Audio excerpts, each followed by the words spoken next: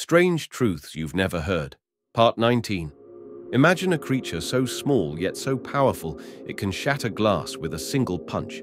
Meet the mantis shrimp, a marine assassin with one of the fastest, most brutal strikes on Earth.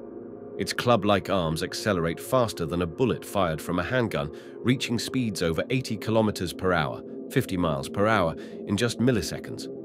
But here's the twist. It's not just the force of the punch. The speed creates cavitation bubbles that collapse with an explosive shockwave, producing light and heat nearly as hot as the sun's surface. Yes, this tiny punch literally creates plasma underwater. Aquarium owners fear them, divers respect them, and scientists are amazed by them. Their claws can break crab shells, crack open snails, and even smash aquarium glass. Some species are called thumb splitters because careless handlers have ended up in the ER.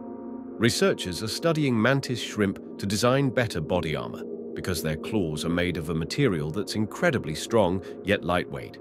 It's nature's perfect weapon, and it's been around for millions of years.